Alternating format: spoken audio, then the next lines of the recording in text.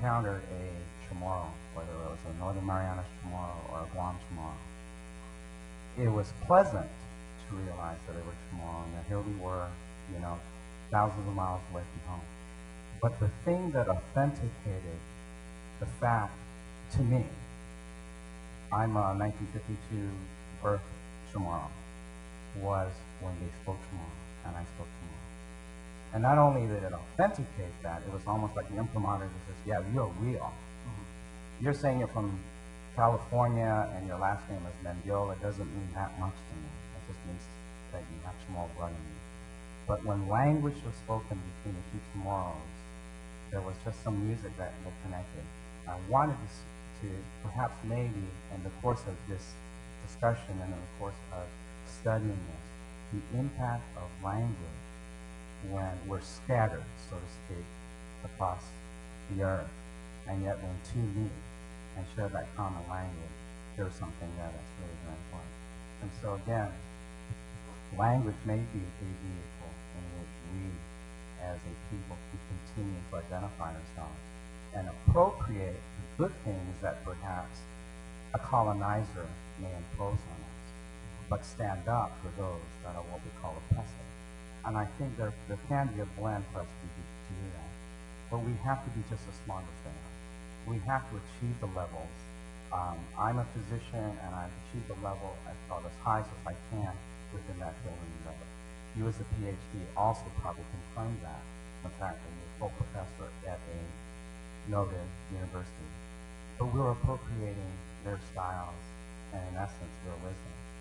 And maybe we need to take a look and see what are the wisdoms that we have and take that, blend it, and maybe have an amalgam of what is best. And perhaps as people we could go forward. And I'm sure that the president that sits to my right shares that because we're about the same with regard to the generation. Post-war, opportunities were given. We took it, or our parents forced us to take it, as you say.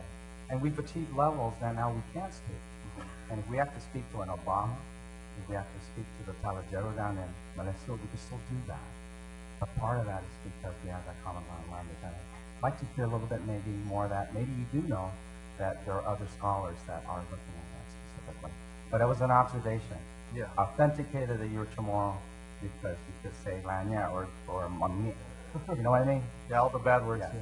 Roger that. Okay. That's all I wanted. Yeah, no, I appreciate that, and, that, and I'm glad you brought that up because I, you know, I pondered to what extent I would uh, address issues of Chamorro language, but I think it's, I mean, it's it's probably the issue.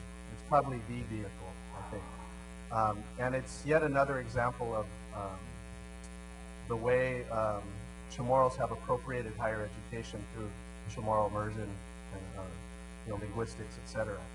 Uh, the dilemma or the consequence of the of the migration is that's is that we are for, more far removed. Um, newer generations of Chamorros on Guam and the Mariana Islands are are somewhat removed from their language, but it's even more profound um, on the U.S. mainland. But there are efforts to um, implement Chamorro language classes, et cetera. It's just difficult to do it in an immersion kind of way.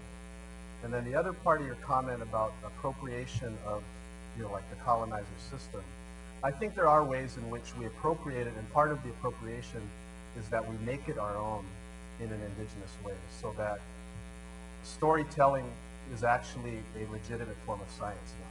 We just call it oral history. You know, we call it an academic thing, but it is it is native. So there is there, there is a, a real appropriation where it's not simply like native people using using higher education. It, it's really making it their own. So I think that's going on, and there is there is more scholarship on, on language issues these days. Um, but thank you. Okay, um, how about another round of applause for uh, Dr. Michael Perez? And of course, uh, he'll be around for uh, a few minutes and then uh, he'll be around for the rest of the week. So uh, before uh, we leave the program, I wanted to uh, introduce uh, Senator Ben Pangelinan, who's with us today. As well as, of course, Regent uh, Dr. Chris Perez and uh, former Senator Bob Klitzkie. Thank you for coming.